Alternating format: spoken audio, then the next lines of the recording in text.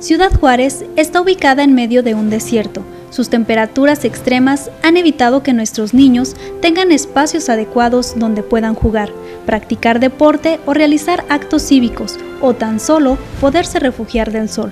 Las altas temperaturas que se registran en nuestra ciudad y su rápido crecimiento provocan que la demanda para la construcción de espacios que protejan a los menores de las inclemencias del clima sea cada vez mayor.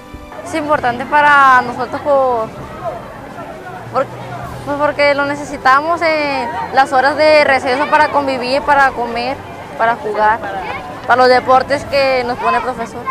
Nos gusta el domo porque ya hay sombra y antes no podíamos jugar por el sol. No nos, pues había mucho sol y no podíamos jugar bien. Ya no molesta tanto el sol. El hecho de tener que hacer un saludo a la bandera o el simple hecho de salir a la clase de educación física eh, daba muchas necesidades ya que se sentían mal o el calor era impresionante y bajaba la calidad del ritmo de, de trabajo de los muchachos. El gobierno del ingeniero Héctor Teto Murguía decidió llevar a cabo la construcción de un poco más de 200 domos en las escuelas públicas, con una inversión superior a los 220 millones de pesos, beneficiando así a más de 240 mil alumnos de más de 800 colonias en nuestra ciudad. Decidimos ponerlos en las escuelas, por dos razones quizá que quiero sobrellevar y sobresaltar.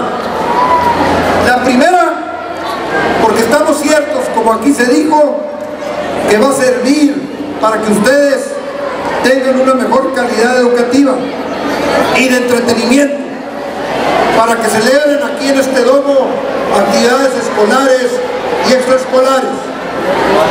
Pero voy más allá.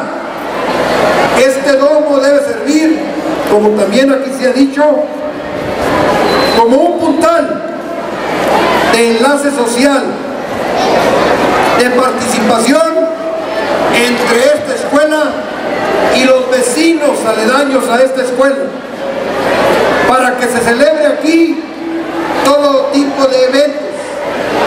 Hay muchas familias en Juárez que no pueden pagar salones de eventos.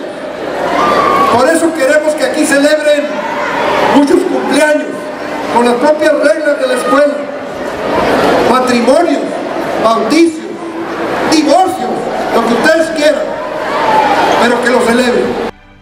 Alumnos, maestros y la ciudadanía en general son los principales beneficiados con estos domos. Conviven más, juegan más, practican más deporte, ya que se ha cumplido con el objetivo fundamental, la convivencia, la integración del tejido social y el sano esparcimiento sin dejar de lado la inmensa felicidad que esto les genera. Se junta más gente, para, más muchachos para convivir, para jugar y aparte de jugar hay, la convivencia, se conoces con más gente y, y todo eso. Bueno, yo pienso que fue un gran beneficio para el plantel porque ya hay más espacio donde pueden realizar todas las actividades. El domo le vino a dar un gran beneficio aquí a los alumnos porque antes del domo, con las inclemencias que tenemos aquí, el sol tan fuerte, los alumnos rápidamente se cansaban por, el, por agotamiento con el sol. Ahora con el domo, para ellos, si ustedes ven, ya practican acá de este lado y no en otra cancha donde hace falta también un domo. Porque invertir en el sano desarrollo de las nuevas generaciones de Juárez es nuestro objetivo y el mejor legado. Seguimos trabajando.